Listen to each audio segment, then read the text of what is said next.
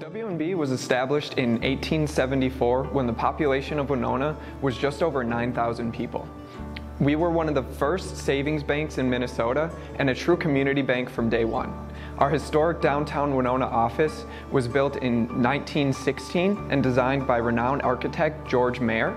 It features beautiful stained glass Tiffany windows, a massive steel vault, and an African safari museum from our original owner's collection. Today we have seven offices in Winona, Wabasha, and Kellogg, Minnesota, and Altoona and Holmen, Wisconsin. I think the biggest accomplishment of WNB Financial is being an independent community bank that's focused on our coworkers, our clients, and our community. We're very fortunate to have such a talented group of coworkers. They come to work every day focused on uh, delivering excellent customer service and being trusted advisors. One of the most rewarding things we do is to help our uh, customers achieve their financial goals. It's also rewarding to help someone start a new business and then watch that business grow and prosper and know that we've been a part of that success. WNB has always been a big believer in giving our time, talent, and treasures back to the communities we serve. I think we've made a big difference in our contributions to nonprofit organizations and helping them achieve their mission, which seems like a pretty good accomplishment. I think that uh, everybody likes working here and it all starts with the culture, right? So I came right out of college and right away they had that welcoming environment where uh, they can teach you those skills, those professional skills that you don't really learn in the college setting. So um, right off the bat, uh, they give you the tools to succeed and grow as WNB grows itself. I think the number one thing that separates us from other places to work is our culture. And it focuses on people's strengths. It's very constructive in nature. Um, it tends to allow people to grow personally and professionally.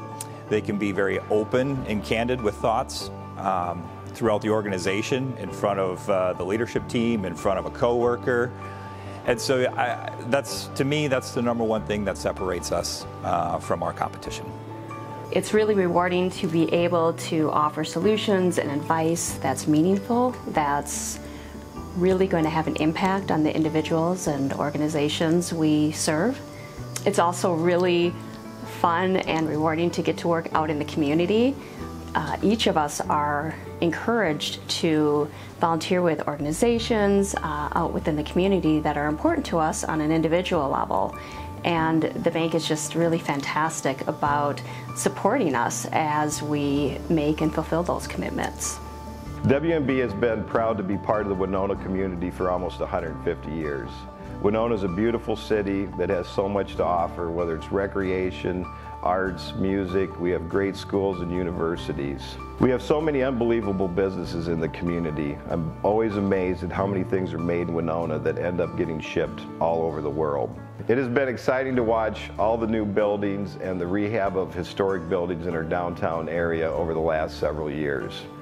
Winona has just such a unique business community that you don't find in many other places.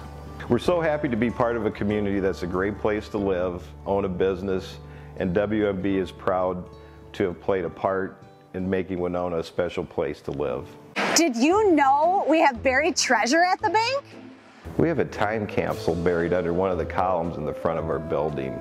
It's full of old newspaper clippings, bank plans, deposit slips, old family photos from the original owners.